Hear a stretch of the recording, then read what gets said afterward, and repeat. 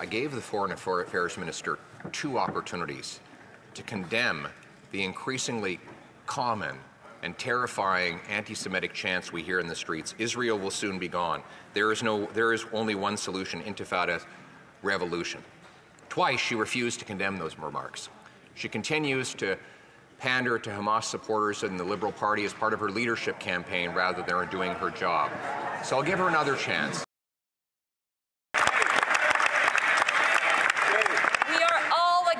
Any form of anti Semitism, I hope, in this House, any form of discrimination.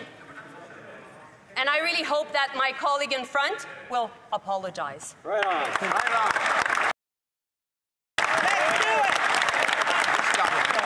This government has, has sought to divide Canadians by saying one thing to one group and precisely the opposite to another group. And here in this House, remaining radio silent on condemning anti Semitic chants and on supporting Israel's right to truly defend itself by retaliating.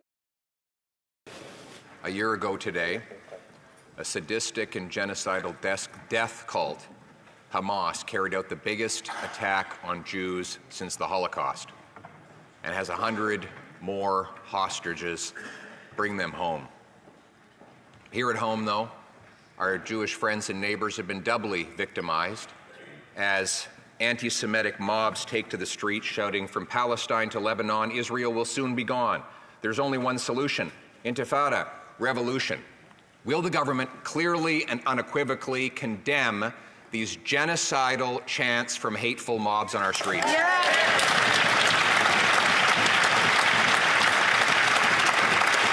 The Honourable Minister for Foreign Affairs. Mr. Speaker, Judy Weinstein, Vivian Silver, Ben Mizrachi, Netta Epstein, Shir Georgi, Alexandre Look, Adi Vital Kaploun, Tiferet Lapidot.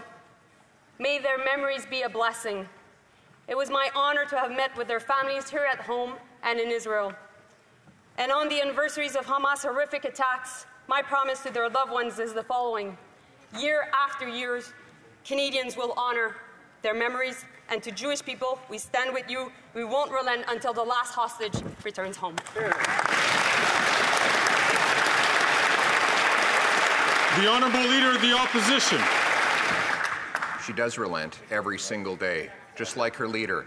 I asked a very simple question. Mobs have taken to the streets in front of Jewish homes, hospitals, and businesses to shout anti Semitic hate slogans. I quoted a number of them and invited the minister to rise to her feet and specifically condemn them, to stand with Jews against the anti Semitism that has been allowed to proliferate on our streets. So, once again, will she condemn these anti Semitic chants? Yeah. The Honourable Minister of Justice and Solicitor General. Mr. Speaker, today is October 7th, an anniversary of a horrific attack on Jews.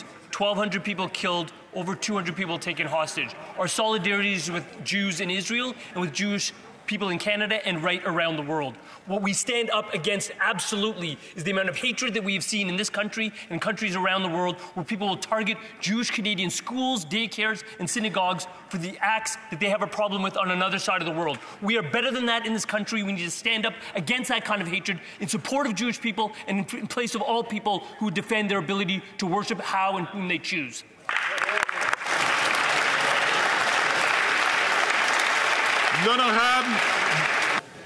I gave the Foreign Affairs Minister two opportunities to condemn the increasingly common and terrifying anti-Semitic chants we hear in the streets. Israel will soon be gone. There is no, there is only one solution: Intifada, revolution. Twice she refused to condemn those remarks. She continues to pander to Hamas supporters in the Liberal Party as part of her leadership campaign rather than doing her job. So I'll give her another chance.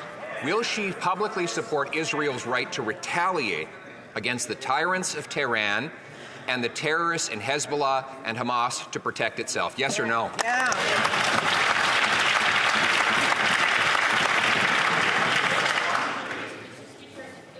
If we don't do politics about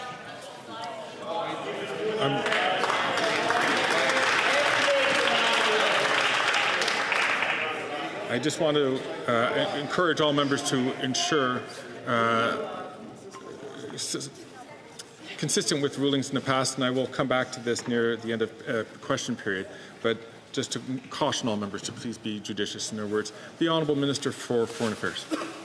Mr. Speaker, if there's a day where we don't do politics about people's lives being taken or people being killed, it's today.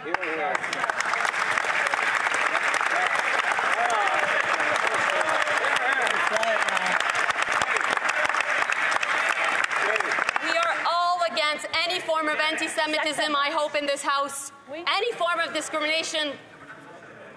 And I really hope that my colleague in front will apologize. Right on. Right on. Right on.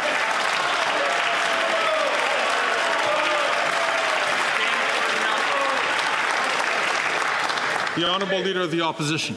there was ever a day when we needed a government to stand up for what was right, this would be that day.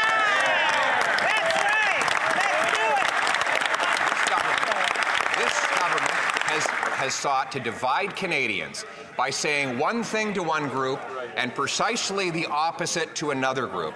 And here in this House, remaining radio silent on condemning anti Semitic chants and on supporting Israel's right to truly defend itself by retaliating against the terrorists and tyrants. Why won't she do the right thing and stand beside the Jewish people today?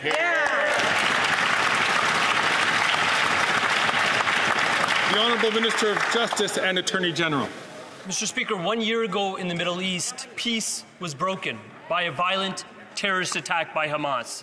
On this side of the ocean, we deserve to do better in terms of the protest that we articulate. It needs to be peaceful. What that means is you don't go out on the streets and target a daycare. You don't go out on the streets and target a community center. You don't go out on the streets and target a synagogue. Our resolve to fight anti Semitism is strong. It has been strong since this parliament started when we outlawed the willful promotion of anti Semitism. It is even stronger now when we're advocating for more strict penalties, which that party opposes. In St. Paul. One year ago today, Jews experienced the worst attack since the Holocaust. Innocent Jews were barbarically slaughtered, women's bodies were broken from vicious rape, children tortured in front of their parents, people burned alive and mutilated. 1,200 Jewish lives were horrifically ended that day, and 101 hostages continue to be held by Hamas terrorists responsible for this massacre. And since then, unbelievably, right here in Canada, Jews have experienced relentless anti Semitism targeting Jewish businesses, schools, retirement homes, and synagogues. It is a national failure that Jews no longer feel safe in this country. And yet, Jewish people continue to fight. Their resolve is stronger than ever. Conservatives stand with them and with the State of Israel. We condemn the anti Zionist hatred and the spineless Canadian leaders who have allowed it to take root here at home. Today, we pray for Israel and for the victory of Western democratic values. Am Israel Chai.